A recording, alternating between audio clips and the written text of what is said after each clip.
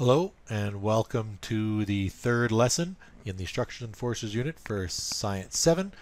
Uh, this lesson we're going to look at the basic forms for structures and there are three basic forms that we're going to take a look at. Okay, so what are we covering today? We're recognizing and classifying structural forms and materials used in construction. We are describing and comparing examples of structures developed by different cultures at different times. That's continuing from the last lesson.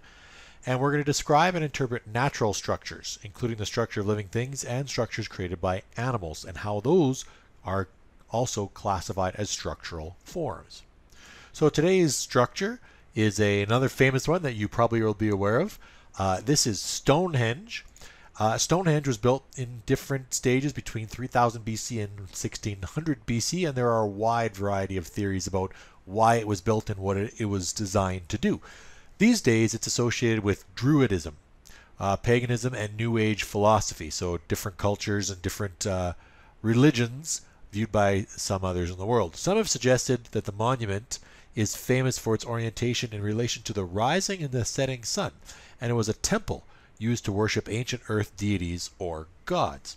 So let's take a look at where exactly Stonehenge is. So let's go to our friends Google Earth.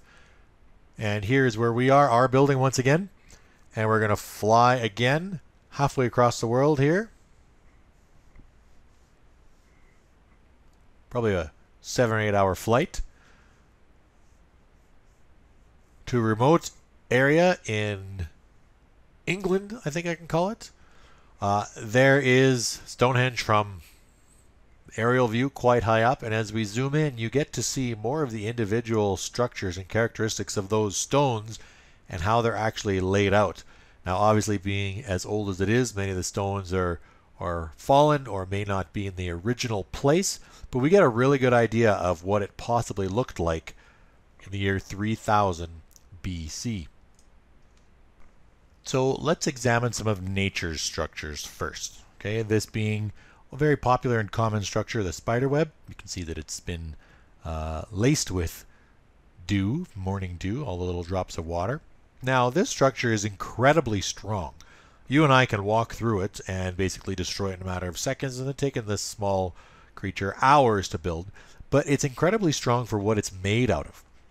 Now, I'm not sure if you're aware of this, but a spider's web can hold up to 4,000 times the weight of the spider that made it.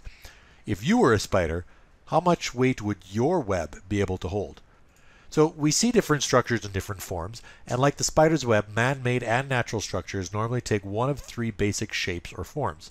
These basic shapes are the solid structures, the frame structures, and the shell structures. So we're going to go take a look at each one of these structures and what exactly they look like.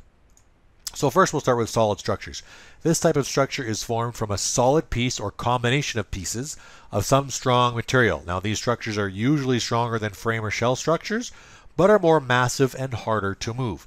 These uh, uh, barriers that we see along um, highways and bridges, these concrete dividers, are an example of a solid structure. It is solid concrete.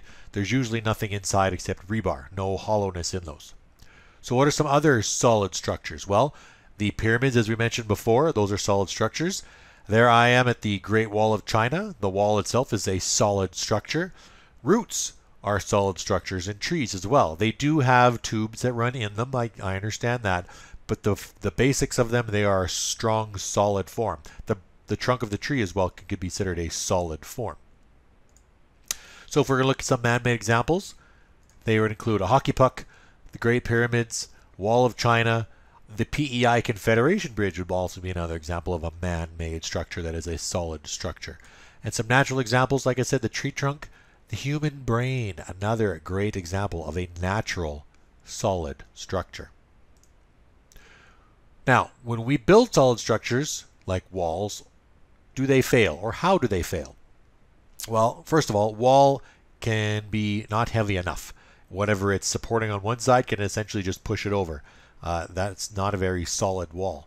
It can be too heavy and actually sink in different parts. We see that sometimes when we see uh, uh, garden walls built, we see unevenness along the top, and that's over time parts of the wall has sunk. The ground could be unstable and the wall could be too heavy.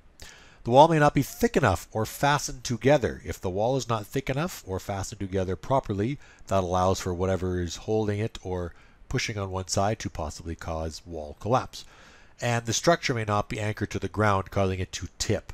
Uh, if you've ever tried to build a really high wall just simply out of snow, let's say, or, then uh, you'll know that when you get to a certain height, it begins to be wobbly on the top. It's not properly anchored and has to uh, find its way back to the ground. Frame structures. What are frame structures? This structure is made up of parts attached together to make a frame for another material to be attached to. The skeletal system is a perfect example of a frame structure. These structures are lighter and use less materials. So what are some other frame examples? Well, we looked at the spider's web. That's a great frame example.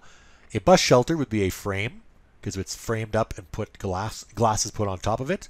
A beehive is a frame structure, and the famous Eiffel Tower is a frame structure. So again, listing those again. Uh, swing set, the Greek Parthenon is another example. The Eiffel Tower, an Empire State Building is obviously a good example because it's frames. It's a frame structure made of steel that has stuff put on top of it. And like I said, the bus shelter earlier. And a spider web, a honeycomb, and like the dinosaur skeleton that we saw, all good examples of a frame structure. Now, what are some uh, issues with some frame structures? Well, certain kinds of frame structures present special design challenges. Uh, sometimes these structures need some type of anchor to hold them down. We see that with very tall towers like these uh, radio towers. Uh, these signal or radio towers can be unstable if they're not braced properly. So that's important to remember about certain frame structures that the taller they get, they may need bracing. Lastly is the shell structure. Shell structures have a solid outer surface, which may be rounded or flat in shape and have a hollow inner area. Now these structures, often lighter than solid structures, are often stronger than frame structures. You kind of get the best of both worlds there. An example would be this dome at the China National Center for the Performing Arts. Very unique structure, but it's certainly a uh, framed outer shell, but it's hollow on the inside. Some examples include, again, the Bird's Nest Stadium in China. This would be a great example of a shell. The Saddle Dome, Go Flames Go, where we have a shell structure, and even an airplane would be considered a shell structure. So what are those? Some of those again: Saddle Dome, Chinese National Stadium, or the Bird's Nest, an airplane or a car.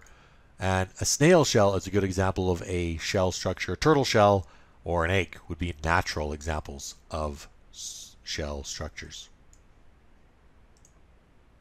Now, constructing strong shell structures can be tricky, and builders face problems like tiny weaknesses or scratches can weaken the whole shell structure.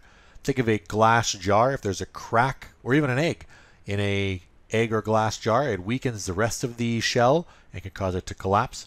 Flat materials are not easily rounded. If you ever try to round a piece of plywood, to go into a shell or an arch, that gets to be very tricky. And there are tricks of the trade to uh, round hard materials like that.